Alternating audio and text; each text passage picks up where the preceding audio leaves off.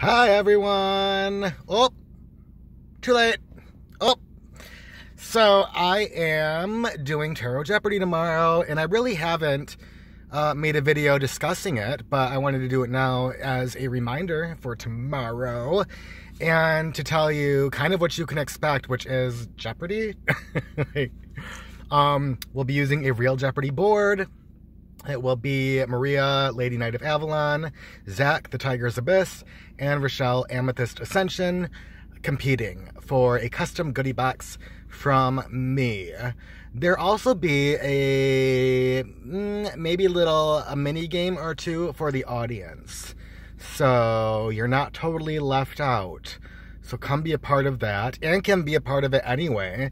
See what um questions you can get right, although don't post them before they're answered. Please don't do that. I hadn't thought of that. Let's not do it, guys.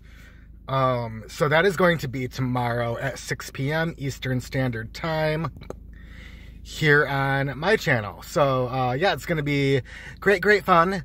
And here is my initial thought. We'll see how it works out tomorrow.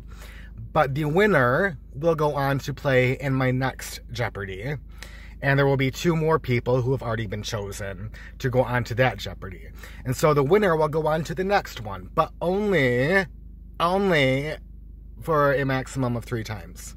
Otherwise, there's a couple people that might dominate and be in every Jeopardy from now until forever.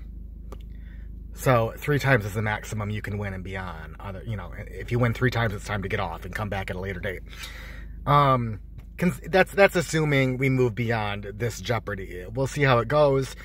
I think we have all the kinks worked out, and that it will be fantastic fun tomorrow. Cross your fingers. Uh, wish us luck.